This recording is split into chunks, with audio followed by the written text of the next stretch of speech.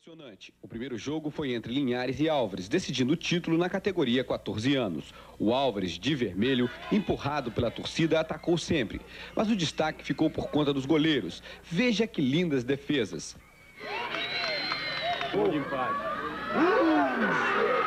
Defesas assim mantiveram o jogo sem gols até o finalzinho do segundo tempo. Mas numa falha da defesa do Linhares, João Francisco marcou para o Álvares o gol do título. No final do jogo, um bonito momento. Vencedores e vencidos se reuniram para rezar e homenagear a bola. Um momento bonito no esporte.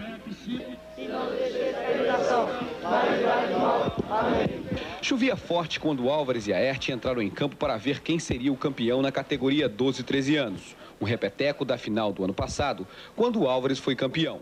Mas dessa vez, o Aerte não quis saber de dar refresco. Mesmo com chuva, foi logo marcando. Veja o golaço do garoto Francisco Madureira. Mas a chuva aumentou e o juiz paralisou a partida até que a tempestade desse um tempo. Na volta, o Aerte continuou melhor e venceu por 2 a 0. O técnico Marcelo desmaiou de emoção ao final do jogo. A festa continuou na premiação. O pequeno torcedor chorou para valer. E torcidas e jogadores não pararam um minuto, comemorando o final de mais uma Copa Gazetinha, que começou em maio, com mais de 200 times, e chegou ao final com Álvares e Aerte campeões. A gente começou isso em maio.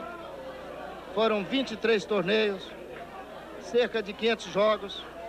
E eu acho que terminou com bastante sucesso. Apesar da chuva, a gente acha que a chuva, em certas ocasiões, é maléfica, mas acho que não foi.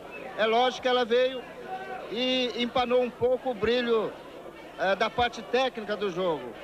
Mas, por outro lado, ela veio trazer até benefício aqui para a comunidade que estava precisando um pouco de chuva.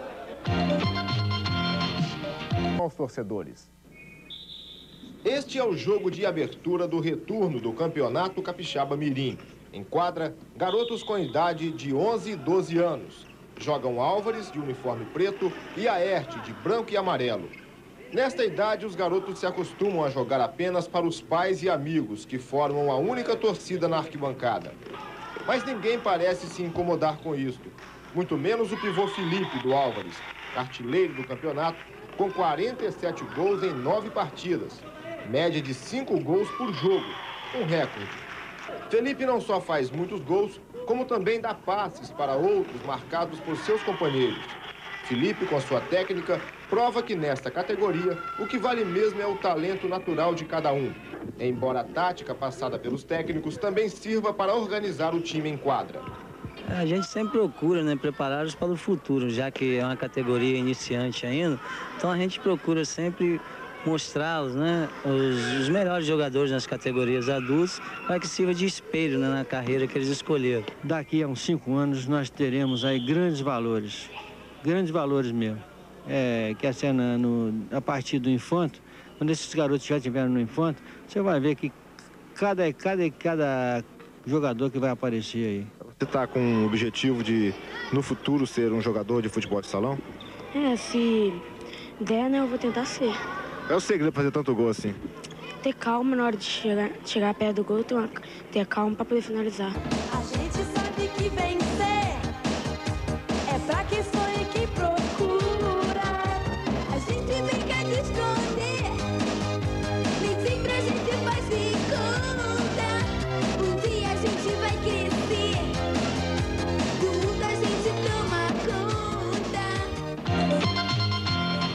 Esses meninos foram escolhidos para formar a seleção da Copa Gazetinha, que vai fazer dois amistosos em Belo Horizonte. Um contra o Atlético Mineiro e outro contra o time da Acesita. Os jogadores estão divididos em duas categorias, 13 e 14 anos. A viagem, de acordo com o Jank, coordenador da Copa, é um prêmio para os melhores jogadores. Entre 3 mil atletas, esses tiveram maior destaque na Copa. Além disso, os amistosos são uma grande oportunidade dos atletas serem vistos por olheiros de grandes times.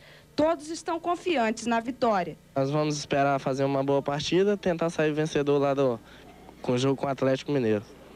Para você, o que, que significa jogar nessa seleção dos melhores da Gazetinha? Para mim é muito gratificante, porque entre muitos atletas, ser escolhido é, uma, é importante para a gente. Uma boa tarde para Judô, melhores jogadores capixabas, nascidos em 1976. A delegação é formada por 20 jogadores, com idade até 14 anos.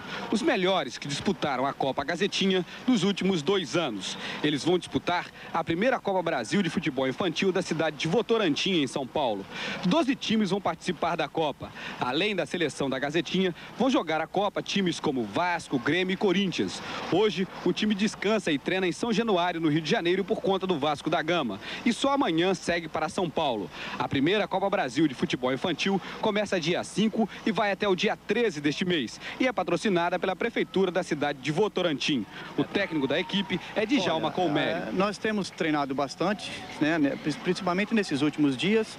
A equipe possui um potencial bom e eu acho que nós temos tudo para chegar em São Paulo encarar de igual para igual, apesar da gente saber com certeza absoluta que esses outros times possuem um, poten é, um potencial, uma estrutura e vem treinando até há mais tempo. Tem nesse, nesse time realmente jogadores de, de boa qualidade e eles, é, nesse torneio, eles terão a oportunidade de apresentar né, para um, um centro maior né, um torneio que tem Grêmio, tem Corinthians, tem Vasco da Gama e outros grandes, grandes clubes.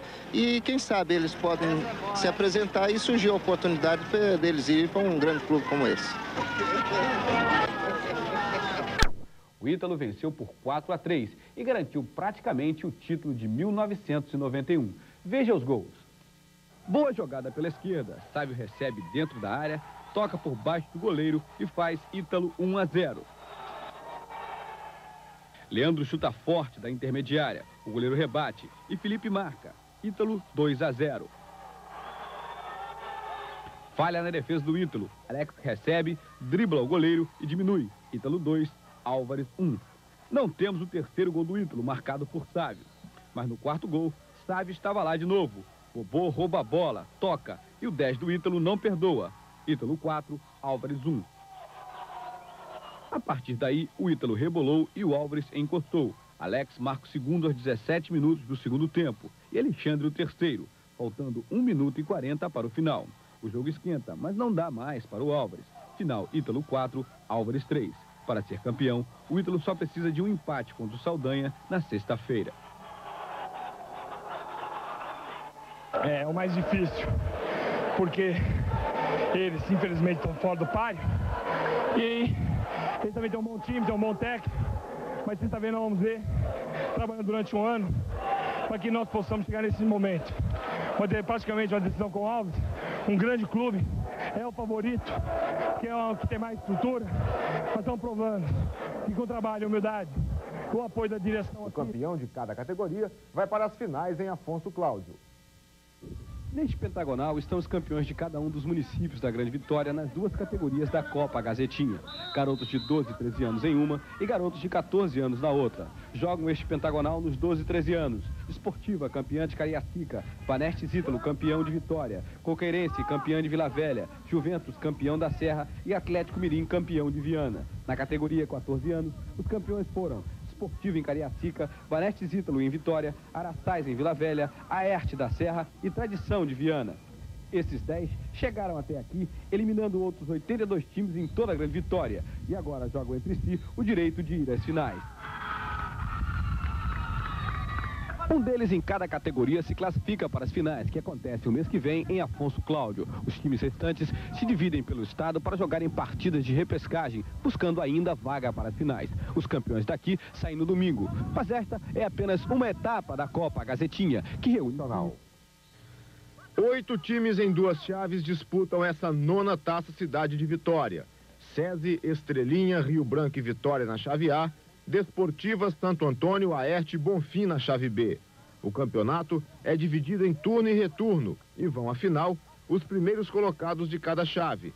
A nona taça Cidade de Vitória começou sábado e vai até meados de novembro. A taça é disputada em duas categorias: infantil até 15 anos, juvenil até 17 anos. Os jogos são dentro da própria chave.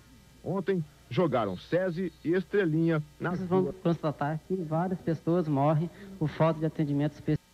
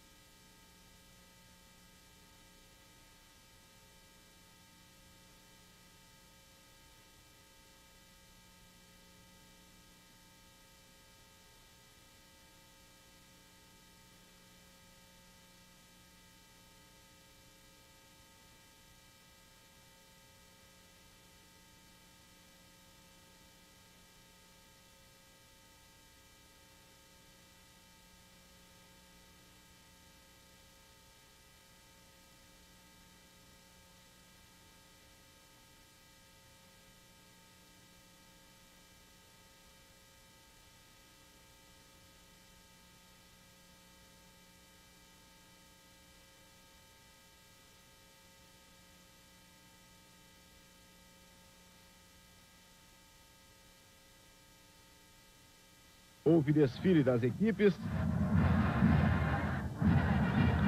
sorteios de prêmios e jogos de futebol, com a seleção de 15 anos da Copa empatando de 0 a 0 com a Desportiva e a seleção de 14 anos vencendo o Vasco da Gama por 1 a 0.